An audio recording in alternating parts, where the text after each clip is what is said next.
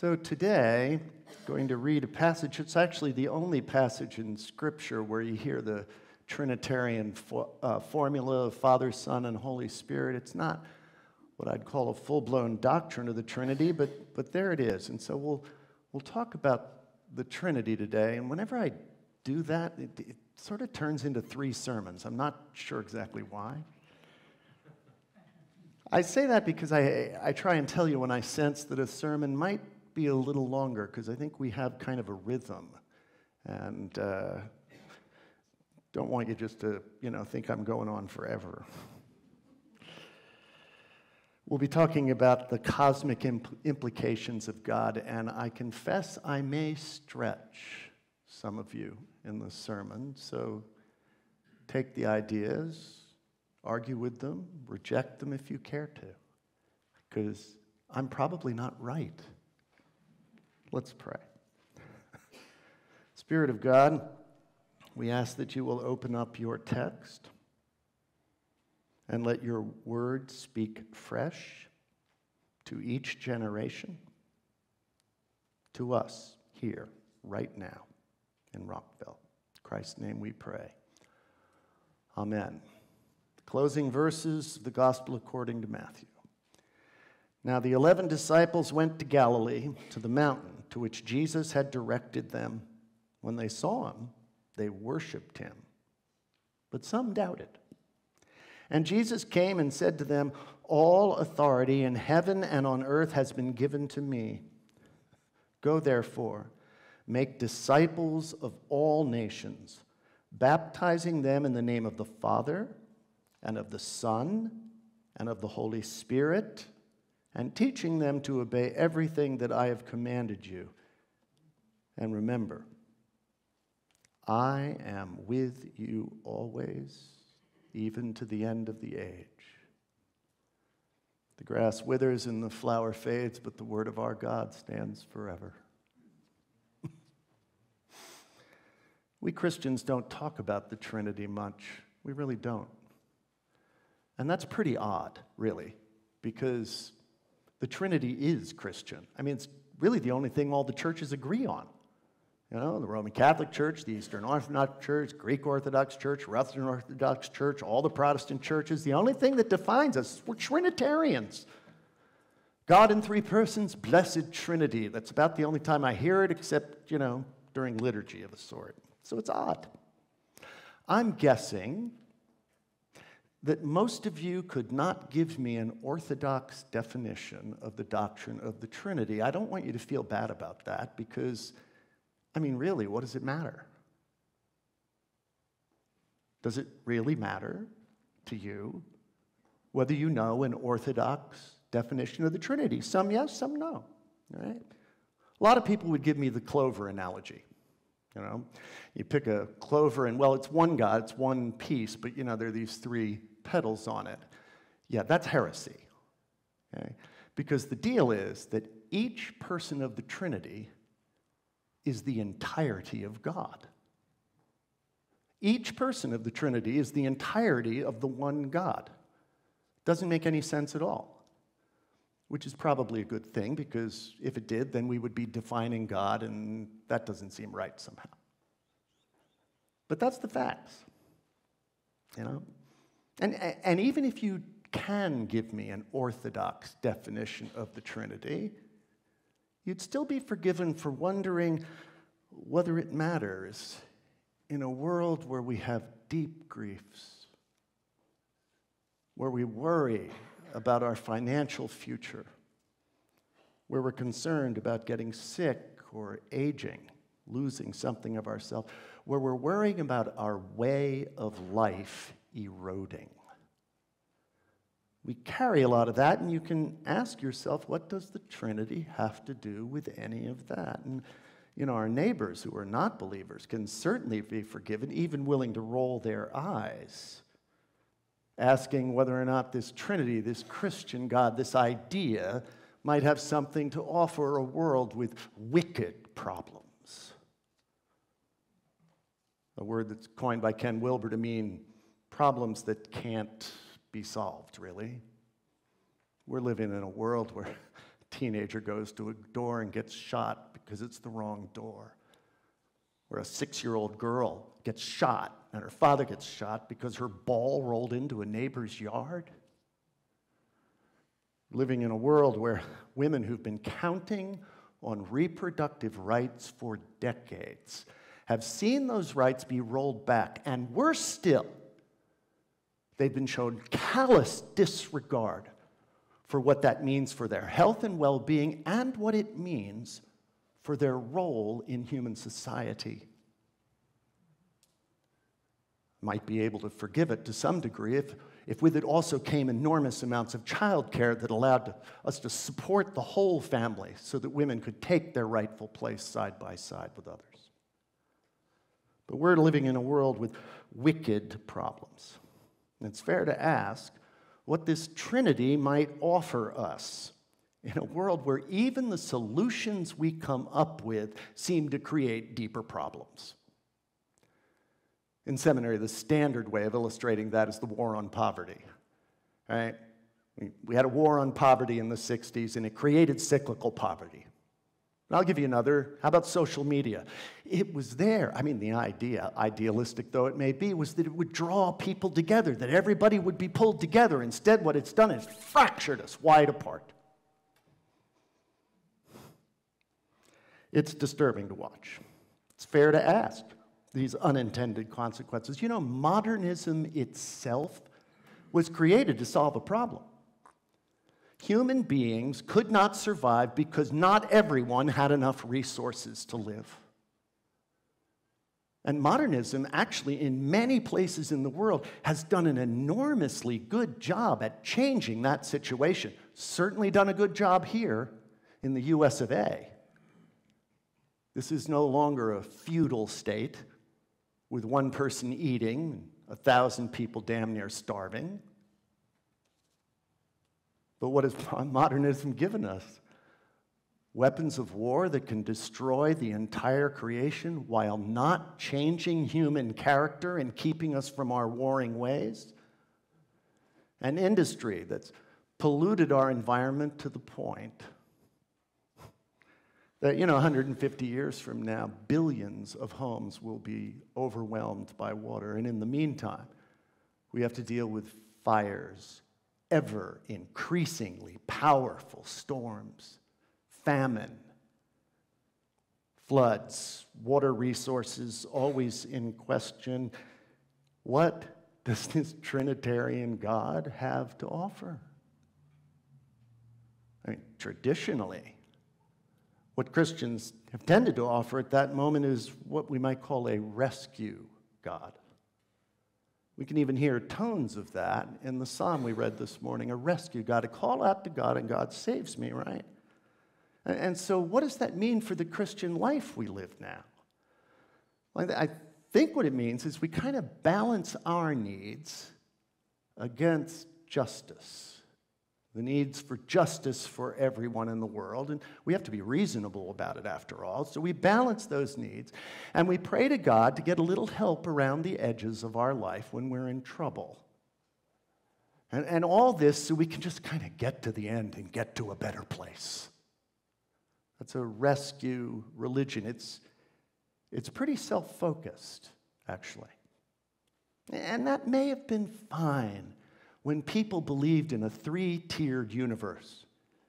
You know, the earth here, the dome, the sky above, and the heavens below, and that netherland place under the earth. It may have been fine when we knew that, but you know, Thomas Aquinas said that when you're wrong in your understanding of nature, Aquinas was probably the greatest theologian of the last thousand years. If you're wrong about your understanding of nature, then you are going to be wrong about your understanding the God who created nature. And the God of the three tier universe, that God, way too small for a dynamic, ever evolving universe that unfolds century after century, millennia after millennia too small for that dynamic universe. I mean, we're talking about a God who blew up the first stars so that the elements that came out could be used to build your body and my body. We're talking about a God who's, who's overseen creation, who's interpenetrated creation as its love story unfolds, all the way through the mass extinction of the dinosaurs that gave room for mammals to grow and develop and to evolve, and, until finally, at least at the moment, the pinnacle of consciousness has arrived in us. Is that the end of the story? In the three tiered universe, it was. In our universe, not so much. This is the God who we worship. God is huge, and this God is enormously creative, you know, in ways that we're not. I heard an entomologist speak as I was driving up. I, I really do enjoy my trips back and forth to Marin because I, I, I, get to learn things, you know. And I heard an entomologist talk about uh, going to Hawaii now, apparently, when entomologists go to Hawaii, they don't go to the beach and have fun. Instead, they look for crickets. and she went and she looked for crickets in a field, and, and she came upon these crickets and she collected some of them. And then she realized that in the crickets were these fly larvae that were killing them from the inside out. And, and there are flies that are parasitic, and what they do is they listen for the cricket noise you know, as the male cricket makes its noise, and, and, they, and they dive bomb it and plant their larvae in the cricket. And, and well, that's great for the fly, but not so good for the cricket. Right? And, and the trouble is that, that, you know, they can't be quiet, okay, the crickets, because then the female crickets won't find them and you won't have any more crickets. You, you, see the dilemma. In fact, the entomologist was sure that if she went back in a few years, she'd find out that there weren't any more crickets on that field. But she did go back a few years later. And as she's wandering through the field, she couldn't hear any crickets, but she could see them. What was going on? Well, apparently a mutation had developed, and, and most of the males couldn't make any noise. But just enough of the males could make noise that the other males hung around the noisemakers, and as the female crickets came, they would be with them, and there'd be crickets. And so there became this balance between flies and fly larvae and the crickets that maintained an equilibrium of that. Po- the entomologist didn't see that coming. I certainly didn't see it coming as she was telling the story. That's because we don't see God coming when God unfolds an incredibly creative creation. We worry about uh, our eroding way of life. Good heavens. God's in charge of that, not us. We wish, worship a God who created a universe where death is an integral part of the creative process. But also, where new life always emerges. For love is stronger than death, and passion fierce as the grave, as the Song of Songs says. That's the nature of the world in which we live. And to recognize that and to see that unfolding, to recognize we're a part of that, requires a significant change in orientation, which is exactly what Jesus wanted when he said to the disciples to go out and baptize people in the name of the Father and the Son and the Holy Spirit. He wanted a different orientation. I've told you a few times as we walked through the Gospel of Matthew about the two competing views that Matthew was arguing with. As, as Judaism had their temple destroyed, the question is how is Judaism going to develop? Right? And Matthew had an alternative, and the apocalypticists had an alternative, and the Pharisees had an alternative. Right? The apocalyptics and the, and the Pharisees rescue religions. The Pharisees, you follow the rules. Follow the rules, be Jewish. Live into that because we're God's people and you will have a better life. You'll get through to the end and go to a better place. The apocalypticists, fatalism. All we have to do is wait until God decides to bring this mess to a close. rescue religion, not Jesus. Because rescue religions are focused on me, and Jesus was focused on God. What Jesus wanted at the end of this gospel, what Jesus wanted us all to recognize, is that we need to know God in three ways. We need to know God, the Father, the I am, the being from which everything emerges. Jesus knew we were one with that being. That being's nature is love, and so what emerges from being is the becoming of creation, fueled by God's Spirit, the third person of the Trinity. As an ever, never ending love story unfolds, where death goes to new life, where where the two separate and fractured things come together in a unified and beautiful equilibrium and whole. This is a story of the perfection of the universe that we live into. God seeks your perfection, not your destruction. It's what the Holy Spirit is all about. And Jesus wanted you to know through the Son Christ, second person of the Trinity, that, that way that God reaches into creation and says, I'm an I and you're a thou, and we're together. Jesus wanted you to know that God loves you. You. I don't care what you've done or what you think you've done or not done. It is God's nature to love you. God's nature to reach into your life, sending God's Spirit to unfold your beautiful life towards greater hope and beauty. It's what our God is about. God loves you, and so God made you for a role in this never ending love story unfolding each day and each year. And Jesus asks for us to take that fresh perspective that we're not here for us. We are here for God's love story. We are here to be part of the unfolding of whatever God wants to see come next.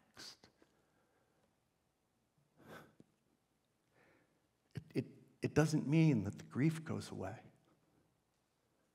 It doesn't mean that suffering disappears. It doesn't mean that our solutions won't cause other problems. It doesn't mean that the wicked problems will be solved so easily. It doesn't mean any of those things, but what it does mean is that God is holding your life in God's hand. God's given you a role, a purpose for being here. And further, God's given you hope. Whatever calamity or struggle or anxiety or fear comes your way, you can know that it's God's creative move, the one that went from the mass extinction to the emergence of consciousness, the one who went from that cricket to crickets that are silent and could maintain equilibrium. That God gives us hope no matter what it is, what reality it is that we see. And because that God loves you, you can know for absolute certain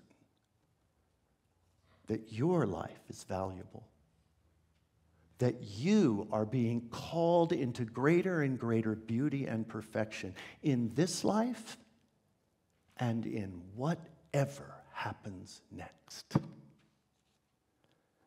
that's what the Trinity has to offer us in 2023 with all our fears and anxiety.